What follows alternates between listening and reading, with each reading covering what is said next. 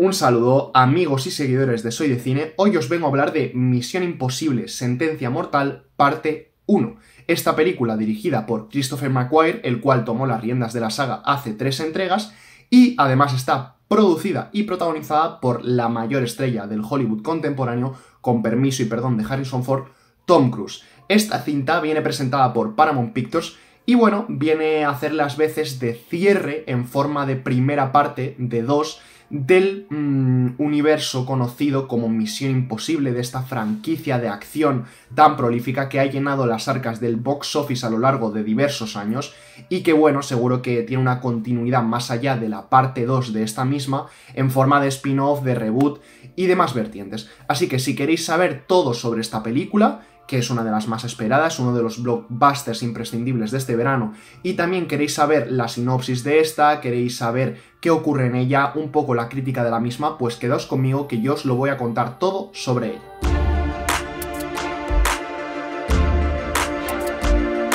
En esta película, Ethan Hunt, personaje interpretado por Tom Cruise, y el resto de integrantes del FMI, esta especie de agencia de inteligencia secreta que está por encima del bien y del mal, que no le tiene que rendir cuentas a diversos gobiernos ni nada por el estilo, tiene que emplearse a fondo para frenar el nacimiento de un arma que, mm, bueno, pues está liderada por algo que nos suena a muchos hoy en día, que está en boca de todos, que es la inteligencia artificial. La entidad, que es una especie de, mm, de organización, Em, ha creado una especie de llave capaz de cifrar, capaz de manipular los metadatos y alterar la realidad tal y como la conocemos. Entonces Ethan Hunt va a tener que luchar, eh, va a tener que meterse en medio de esta guerra fría entre gobiernos, entre entidades con intereses lucrativos y va a tener que ponerle fin a este conflicto tan inestable eh, utilizando pues lo que viene siendo mm, sus habilidades, que son conocidas por muchos. Son esas habilidades de conducción, de utilizar paracaídas, de utilizar todo tipo de vehículos, de pelear, de tener combates cuerpo a cuerpo, de utilizar armas de fuego. Todo eso lo vamos a ver a lo largo de la cinta y también vamos a ver cómo em, un villano que está conectado con la vida pasada de Ethan Hunt eh, también va a hacer la vida imposible al personaje a lo largo del metraje de esta película, que por cierto tiene cerca de 160 minutos de duración. Eh, el resto del reparto está compuesto también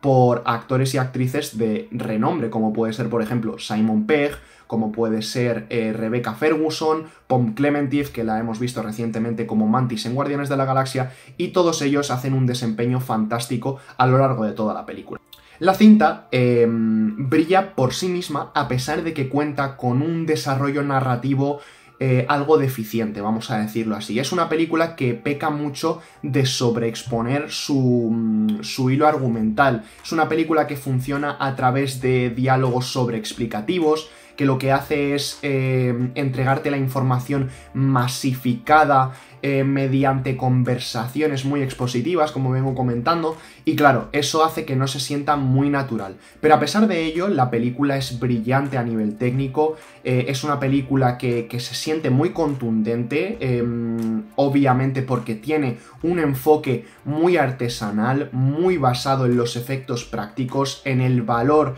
del especialista cinematográfico a la hora de realizar acrobacias, de interpretar él mismo las secuencias de acción, que al final es la filosofía de Tom Cruise, a pesar de que obviamente hay un equipo de especialistas muy grande que trabaja en la película, en la película y en la franquicia, vamos a decirlo así. Y claro, esto eleva, digamos, la propuesta, porque a pesar de que seguramente no sea la mejor entrega de la saga, ni mucho menos, probablemente Fallout, la entrega anterior, es más película que esta, quizá era más seria, quizá tenía un resultado final más equilibrado, que era capaz de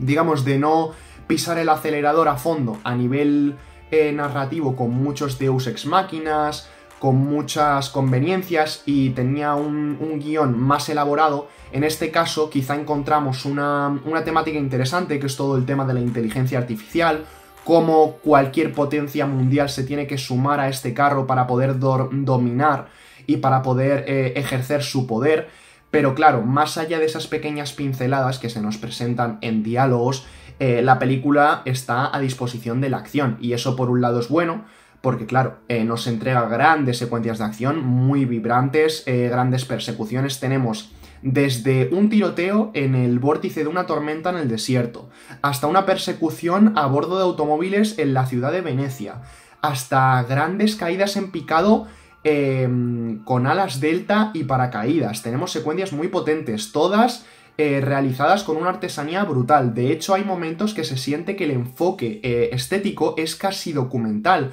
Casi podemos sentirlo con esos planos angulares, con esos planos tan abiertos en los que vemos a Tom Cruise em, directamente con esa cara eh, azotada por el viento, por esa, mm, pues vamos a decirlo así, por la gravedad, ¿no? Cómo de verdad lo está viviendo y cómo de verdad se está realizando esa acrobacia casi kamikaze en favor de, mm, del cine espectáculo, porque está claro que el cine de entretenimiento es mucho más de lo que se nos quiere hacer creer que es. Pero bueno, esta película creo que a pesar de tener sus fallas, eh, ese villano algo estereotípico, ese argumento ciertamente manido y sobreexpositivo, que a veces em, es verdad que quiere jugar un poco a tener el tono clásico de la saga, el tono de las primeras entregas, más centrado en el espionaje puro, más centrado en, en, ese juego del ratón y el gato, de a ver quién tiene más información, a ver quién es más ingenioso. Eso se agradece por un lado, pero claro, Em, si la pluma no es muy fina, el guion a lo mejor queda algo deslavazado como es el caso. Pero aún así creo que es una película que en términos generales es bastante resultona y disfrutable. Creo que es una película que hay que verla en pantalla grande, cuanto más grande sea la sala en la que la veis, mucho mejor porque podréis ver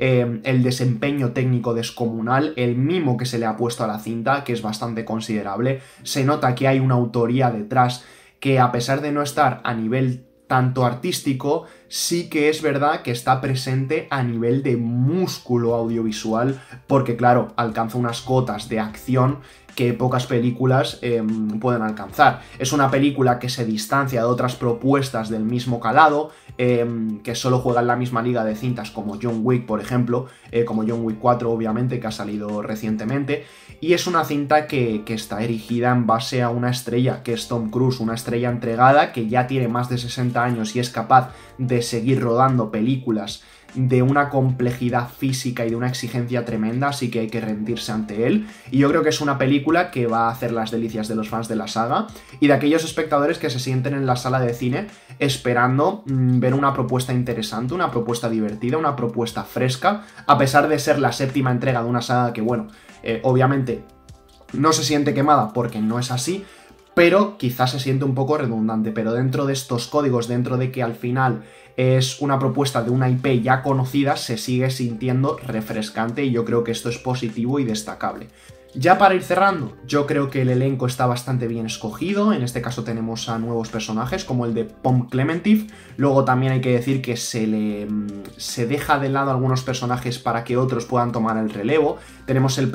el personaje perdón, de Hayley Atwell, eh, la chica que interpretaba a Agente Carter en el universo cinematográfico de Marvel. Y yo creo que esta chica es una de las cosas más disfrutables de la película porque es que está entregada en cuerpo y alma. Hay momentos casi de buddy movie, eh, con un tono también cómico, con un tono mm, más de entretenimiento sin pretensiones y eso es muy disfrutable y esta chica es que lo da todo tanto en las secuencias de acción como con esa gestualización en la que ella pues digamos que, mm, que se, deja, se deja ver, ¿no? Eh, pone caras en las que pues nos hace pequeños guiños a los espectadores para que sepamos que está disfrutando de lo que está haciendo. Y eh, yo creo que le da una aura distinta a la película. Quizás rebaja un poco el tono tan intenso de algunos momentos del metraje y nos mete en la película y nos hace cómplices de ella. Bueno, pues chicos, voy a ir cerrando. Creo que es una película que va a gustar bastante. Creo que es una película bastante destacable dentro de la, mm, de la cartelera de este año. Creo que es una película que va a trascender eh, a nivel de taquilla y a nivel de impresiones generales. Os espero que si la veis dejéis en comentarios qué os ha parecido, si os ha gustado la cinta, si os han impresionado las acrobacias y todos los efectos especiales hechos la mayoría de forma artesanal y práctica de la cinta y si creéis que mm, quizá deja un poco un sabor agridulce que esto sea la parte 1 de 2 y que esperáis que la segunda parte dé más de sí y que a lo mejor este es el inicio prometedor em, de una obra más grande que se vea concluida en, en la segunda parte, en Sentencia Mortal parte 2. Me gustaría saber vuestras opiniones, me gustaría saber cuáles son las vibraciones que habéis tenido con la cinta. Así que nada chicos, un saludo y nos vemos en próximas críticas en Soy de Cine.